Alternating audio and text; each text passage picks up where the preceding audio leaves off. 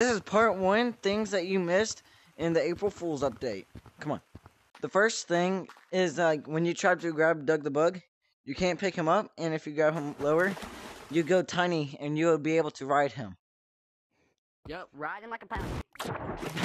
Alright, there we go. Alright, moving on to the second thing. Alright, guys, we're now in mines, and this is the second thing. You can grab onto Matt the Bat, and then you go tiny. And you'll be able to ride him. Wait, where'd he go? No! Oh my gosh, I can't. Riding like a pony. Ride him like a pony. There you go. You can pick him up and ride him. So you have your little dragon kinda like- So this is the only two things I know so far. Thank you for watching this video. Please like and follow. And remember, at 3,000 followers, I'll be giving away an Oculus Quest 2. And also,